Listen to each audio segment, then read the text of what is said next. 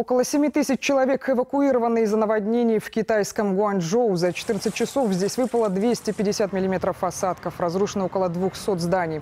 О жертвах и пострадавших пока данных нет. По прогнозам синоптиков, сильнейшие ливни будут продолжаться в Гуанчжоу до среды.